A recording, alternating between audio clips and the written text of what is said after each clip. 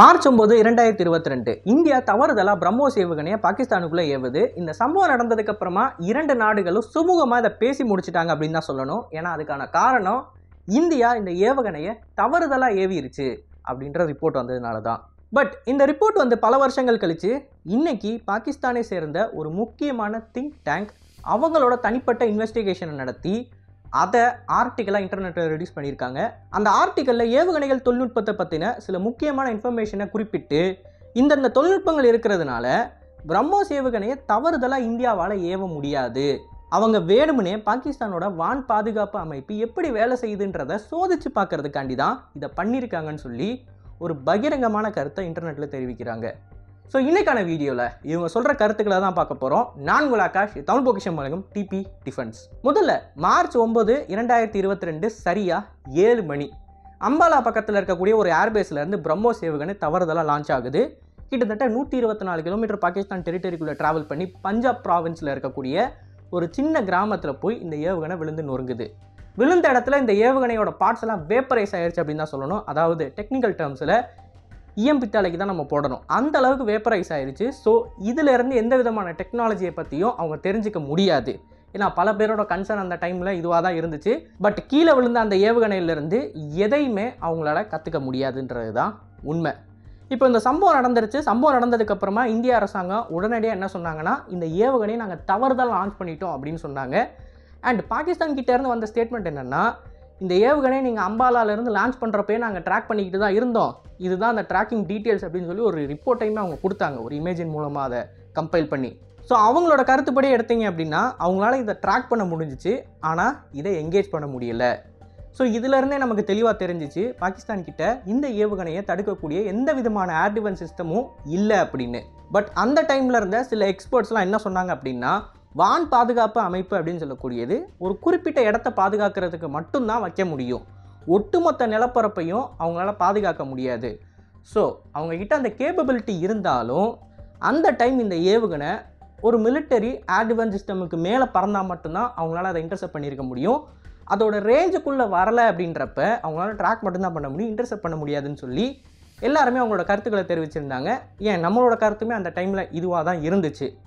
But இப்போது பாகிஸ்தான் கொடுத்துருக்கிற ரிப்போர்ட்டின் மூலமாக நமக்கு தெரிய வர்றது என்னென்னா இந்தியா உண்மையிலேயே பாகிஸ்தானோட ஏர் சிஸ்டம் இருக்கக்கூடிய அந்த இடத்து மேலே தான் இந்த பிரம்மோஸ் அனுப்பியிருக்காங்க.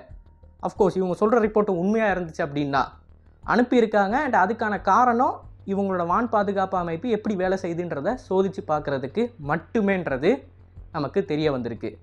அந்த ரிப்போர்ட்டில் இன்னும் டீட்டெயில்டாக சில விஷயங்களை சொல்ல வராங்க. அதுக்கு முன்னாடி நம்மளோட இந்திய விமானப்படை நம்மளோட ஹைகோர்ட்டு கிட்ட என்ன தகவலை கொடுத்தாங்கன்றத புரிஞ்சுக்கணும்.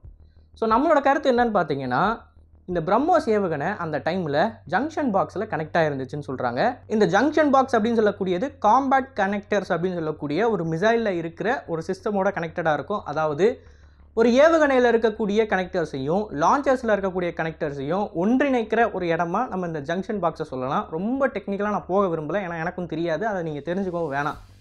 ஸோ இதை மட்டும் புரிஞ்சுக்கோங்க. மூணு சிஸ்டம் இருக்குது ஒன்று காம்பேட் கனெக்டர்ஸ் இன்னொன்று ஜங்ஷன் பாக்ஸு இன்னொன்று லான்ச்சர்ஸில் இருக்கக்கூடிய சிஸ்டம்ஸ் ஸோ இது ரெண்டுத்தையும் கனெக்ட் பண்ணக்கூடிய ஒரு இடம் தான் அந்த ஜங்ஷன் பாக்ஸு இந்த ஜங்ஷன் பாக்ஸில் ஒரு ஏவுகணை கனெக்ட் ஆகிருக்கு அப்படின்னா அந்த ஏவுகணை லான்ச் ஆகிறதுக்கு தயாராக இருக்குது அப்படின்னு அர்த்தம். ஸோ அது தெரிஞ்சும் அந்த டைமில் இருந்த சோல்ஜர்ஸ் இதை கவனக்குறைவால் விட்டுட்டாங்க. அதனால் தவறுதலாக அந்த ஏவுகணை லான்ச் ஆயிடுச்சு அவங்க நினச்சிருந்தாங்க அப்படின்னா இந்த லான்ச்சை ப்ரிவெண்ட் பண்ணியிருக்க முடியும். பட் அவங்களோட கவனக்குறைவால் மட்டும்தான் இந்த ஏவுகணை லான்ச் ஆயிருக்குன்னு சொல்லி ஹைகோர்ட்டில் ஒரு ரிப்போர்ட் ஒன்று கொடுத்துருந்தாங்க. இப்போது இந்த ரிப்போர்ட்டை தொடர்ந்து இவங்க இண்டிபெண்ட்டாக என்ன சொல்ல வராங்க அப்படின்னா ஒரு ஜங்ஷன் பாக்ஸில் ஏவுகணை கனெக்ட் ஆகிருக்குன்னு நீங்கள் சொல்கிறீங்க ஓகே ஆனால் இந்த ஏவுகணை அண்டர் மெயின்டெனன்ஸில் இருந்ததா நீங்கள் குறிப்பிட்டிருக்கீங்க. அண்டர் மெயின்டெனன்ஸில் இருக்கக்கூடிய ஒரு ஏவுகணை இனர்ட் கண்டிஷனில் இருக்கும். அண்டர் மெயின்டெனன்ஸ் அண்ட் டிரான்ஸ்போர்ட்டேஷனில் இருக்கக்கூடிய ஒரு ஏவுகணை இனர்ட் அப்படின்னு சொல்லக்கூடிய ஒரு கண்டிஷனில் தான் இருக்கும்.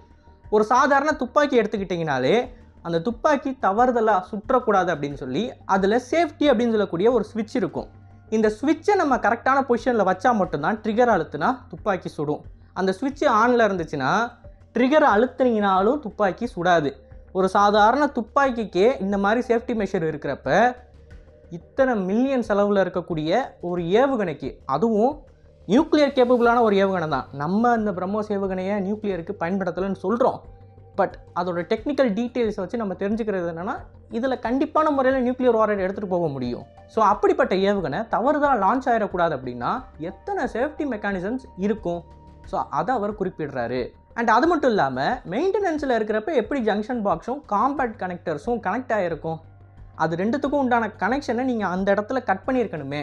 ஏன் ஒரு ஏவுகணை ஆக்டிவாக இருந்துச்சு அப்படின்றத அவரோட கேள்வியாக எழுப்புறாரு.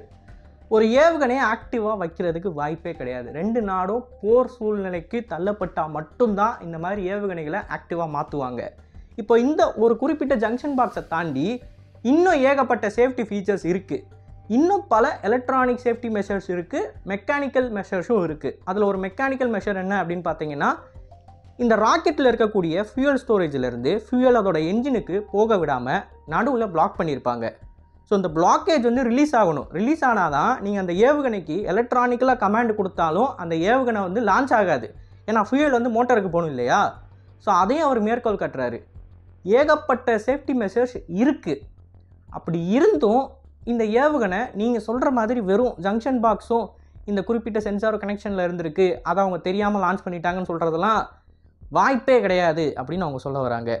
அண்டு இதுக்கு மேலே இன்னொரு முக்கியமான கருத்தை அவர் என்ன சொல்கிறார் அப்படின்னா இந்த ஏவுகணை ப்ரீ ப்ரோக்ராம் பண்ணப்பட்டிருக்கு. ஏன்னா இது லான்ச் ஆகி சரியாக பஞ்சாப் ப்ராவின்ஸில் இருக்கிற யாருமே எந்த ஒரு ஆள் நடமாட்டமும் இல்லாத ஒரு கிராமத்தை நோக்கி போயிருக்கு அப்படின்னா இதை நீங்கள் முன்னாடியே ப்ரோக்ராம் பண்ணி வச்சுருக்கீங்க. ஸோ இந்த ஏவுகணையை நீங்கள் டிரான்ஸ்போர்ட் பண்ணி மெயின்டெனன்ஸுக்கு அந்த இடத்துக்கு எடுத்துகிட்டு வர்றதுக்கு முன்னாடியே இதை ஆக்டிவேட் பண்ணி இந்த ஏவுகணை எங்கே போய் தாக்கணும் அப்படின்ற அந்த கோஆர்டினேட்ஸை ஃபீட் பண்ணி இதை அந்த இடத்துக்கு நீங்கள் கொண்டு போயிருக்கீங்க. ஸோ இது ஆக்சிடென்டல் லான்ச் கிடையாது. நீங்கள் வேண்டுமென்றே பாகிஸ்தானோட வான் பாதுகாப்பு அமைப்பு எப்படி வேலை செய்யுது அண்ட் பாகிஸ்தான் இதுக்கு எப்படி ரெஸ்பான்ஸ் பண்ண போகிறாங்கன்றத சோதிக்கிறதுக்காண்டி இந்த காரியத்தை பண்ணியிருக்கீங்கன்னு சொல்லி அவரோட அந்த ஆர்டிக்கலை முடிக்கிறாரு. இப்போ அவரோட ஆர்டிக்கலை நீங்கள் ஆன்லைனில் சர்ச் பண்ணி பார்க்கணும் அப்படின்னா இன்னும் இதை பற்றின நிறையவே டீட்டெயில்ஸ் நீங்கள் தெரிஞ்சுக்கலாம். ஆனால் அதை தெரிஞ்சுக்கிட்டு எந்த விதமான பயனும் இல்லை unless and until you are a missile scientist so அப்படி இல்லைன்றப்ப நீங்கள் அதை தெரிஞ்சுக்கணுன்ற அவசியம் கிடையாது. ஸோ அதுக்குள்ளே டீப்பாக நான் போக விரும்பலை. மேலோட்டமாக ஜஸ்ட் எல்லாருக்கும் புரியணும் அப்படின்றதுக்காண்டி தான் இதை பற்றி நான் எக்ஸ்பிளைன் பண்ணியிருக்கேன். இப்போ இந்த இடத்துல இருந்து இவர் சொல்கிற கருத்தை நீங்கள் புரிஞ்சுக்குவீங்கன்னு சொல்லி நினைக்கிறேன். இதுக்கப்புறமா இன்னும் சில பாயிண்ட்ஸை சொல்கிறாரு இதுக்கு பாகிஸ்தான் எப்படி ரெஸ்பாண்ட் பண்ணாங்க? இந்த மாதிரி ஒரு ஏவுகணையை நீங்கள் தவறுதலாக சோதிச்சிட்டீங்க அப்படின்றப்ப ஃப்யூச்சரில் இந்த மாதிரி எதுவும் நடக்கக்கூடாதுன்னா அந்த இன்வெஸ்டிகேஷனில் எங்களையும் சேர்த்துக்கோங்க அப்படின்னு கேட்டாங்க. அதாவது நம்மளோட பிரம்மோஸ் ஏவுகணை தவறுதலாக பறக்க விட்டதுக்கு ஒரு இன்வெஸ்டிகேஷன் பண்ணுறோம்ல அதுக்கு அவங்களோட ஆஃபீஸர்ஸ் வருவாங்களாம். இதுக்கு எப்படி நம்ம ஒத்துக்க முடியும்? அதெல்லாம் முடியாதுன்னு சொல்லிட்டோம். ஹை கோர்ட்டில் இந்த கேஸ் போய்கிட்டு இருக்கு. கோர்ட் ஆர்டர் வேணால் நீங்கள் வச்சுக்கோங்க அப்படின்ற மாதிரி நம்ம ஒரு ஸ்டேட்மெண்ட்டை கொடுத்து முடிச்சிட்டோம். ஆனால் அவர் என்ன சொல்ல வரார் அப்படின்னா எல்ஓடபிள்யூ அப்படின்னு சொல்லி ஒரு ப்ரோட்டோக்கால் இருக்குது இந்த ப்ரோட்டோக்கால் வந்து கோல்டு வார் டைமில் உருவாக்கப்பட்டது. அந்த டைமில் ஏவுகணைகள் வந்து ரொம்ப அட்வான்ஸ்டாக இருந்துச்சு. இந்த ஏவுகணைகளை வந்து இடைமறுத்து அழிக்கிறதுக்கு வாய்ப்பே இல்லைன்ற சுச்சுவேஷன் தான் இருந்துச்சு. ஸோ ஒரு எதிரி நம்ம மேலே ஏவுகணையை ஏவிட்டான் அப்படின்னா அந்த ஏவுகணையை நம்ம டிடெக்ட் பண்ணிட்டோம்னாலே நம்ம கிட்ட இருக்கக்கூடிய ஏவுகணைகள் எல்லாத்தையுமே நம்ம எதிரிக்கு எதிராக ஏவி முடிச்சிருவோம். ஸோ அந்த டைம் அந்த ஏவுகணையை கமாண்ட் பண்ணிகிட்டு இருக்கிற கமாண்ட் ஆஃபீஸர்ஸுக்கு முழு உரிமையும் இருக்குது அந்த ஏவுகணைகள் லான்ச் பண்ணுறதுக்கு ஸோ ப்ரைம் மினிஸ்டர் கிட்டேருந்து இல்லை பிரசிடென்ட் கிட்டேருந்து கோடு வந்து தான் அவங்க லான்ச் பண்ணணும்னு அவசியம் இல்லை. ஸோ இந்த எல்ஓடபிள்யூ ப்ரோட்டோக்காலை கோல்டு வாரில் நிறையவே நாடுகள் ப்ராக்டிஸ் பண்ணிக்கிட்டு இருந்தாங்க. உதாரணத்துக்கு பிரிட்டன் கூட ப்ராக்டிஸ் பண்ணிக்கிட்டு இருந்தாங்க. பட் மிசைல் டெக்னாலஜி அதுக்கப்புறமா வளர ஆரம்பித்த மாதிரி இன்டர்செப்டார் டெக்னாலஜிஸும் வளர ஆரம்பிச்சிச்சு. ஸோ இப்போ இருக்கிற டைமில் எத்தனை பேர் இந்த எல்ஓடபிள்யூவை ஃபாலோ பண்ணுறாங்க அப்படின்னு தெரில ஆனால் இந்த எல்ஓடபிள்யூ மேற்கோள் காட்டி அவர் என்ன சொல்ல வரார் அப்படின்னா ஃப்யூச்சரில் இந்த மாதிரி விஷயங்கள் எதுவும் நடக்கக்கூடாதுன்னா நம்ம எல்ஓடபிள்யூ படி பிரம்மோஸு இந்தியாவிலேருந்து லான்ச் ஆகுது அப்படின்னா உடனடியாக நம்ம ஒரு ஏவுகணையை லான்ச் பண்ணி ரெஸ்பான்ஸ் பண்ணணும். அப்படி பண்ணால் மட்டும்தான் ஃப்யூச்சரில் இந்த மாதிரி இந்தியா நம்ம கூட வாலாட்ட மாட்டாங்க அப்படின்றத அவர் பாணியில் அவரோட ஆர்டிக்கிளில் முடிச்சு வைக்கிறாரு. ஸோ அவர் சொல்கிற கருத்துப்படி என்ன நடந்திருக்கு அப்படின்னு பார்த்தீங்கன்னா நம்ம வேணும்னே தான் இந்த பிரம்மோஸை ஏவி இருக்கோம் அண்ட் பி எயிட் ஹண்ட்ரட் அப்படின்னு சொல்லக்கூடிய இதை கம்பேர் பண்ணுறப்ப கொஞ்சம் இன்ஃபீரியரான ஒரு ஏவுகணையவே உக்ரைனால் இன்டர்செப்ட் பண்ண முடியல. அமெரிக்கன்ஸோட பேட்ரியாட் வச்சிருக்கிற உக்ரைனால் இன்டர்செப்ட் பண்ணிட முடியலன்றப்ப சீனர்களோட எஸ் த்ரீ ஹண்ட்ரட் காப்பியை வச்சுருக்கிற பாகிஸ்தானால் எப்படி இதை பண்ண முடியும்? ஸோ ஆக்சுவலாக அந்த ஆன்சர் வந்து நமக்கு முன்னாடியே தெரியும். நம்ம எதுக்கு ஒரு ஏவுகணையை அனுப்பி சோதித்து பார்க்கணுன்ற அவசியம் அப்படின்னு எனக்கு தெரில பட் எனிவேஸ் இந்த நியூஸ் ரொம்ப இன்ட்ரெஸ்டிங்காக இருக்குது அப்படின்றதுனால உங்களோட ஷேர் பண்ணியிருக்கேன். இதுக்கு கண்டிப்பாக மிக்ஸ்டான கமெண்ட்ஸ் வரதான் போகுது. ஏன் எனக்குமே ஒரு ஐடியா கிடைக்கல. ஏன்னா அந்த மிசைலை பற்றின நாலேஜ் இருக்கிறவங்களுக்கு தான் இவங்க சொல்லியிருக்கிற ரிப்போர்ட் வந்து ரியலாக ஃபேக்கா அப்படின்னு சொல்லி சொல்ல முடியும். நான் ஜஸ்ட் இந்த இடத்துல நியூஸை மட்டும்தான் கன்வே பண்ணியிருக்கேன். இவங்க சொல்கிற ரிப்போர்ட் உண்மை பொய் அப்படின்னு சொல்லி நான் சொல்லலை. ஸோ நீங்கள் என்ன நினைக்கிறீங்க? இந்த வீடியோ பார்க்குற யாராவது மிசைல் சயின்டிஸ்டாக இருந்தீங்க அப்படின்னா அனானமஸாக கமெண்ட் பண்ணுங்கள் பின் பண்ணி வைக்கிறேன். அண்ட் இது போல் சில இன்ட்ரெஸ்டிங்கான வீடியோஸை நீங்கள் தெரிஞ்சுக்கணும்னு நினச்சிங்கன்னா மறக்காமல் சேனலை சப்ஸ்கிரைப் பண்ணிக்கோங்க. பக்கத்தில் இருக்கிற பெல் ஐக்கானை ப்ரெஸ் பண்ணிக்கோங்க. நல்லதை இப்போ நல்ல சமுதாயத்தை உருவாக்கும். நன்றி. வணக்கம்.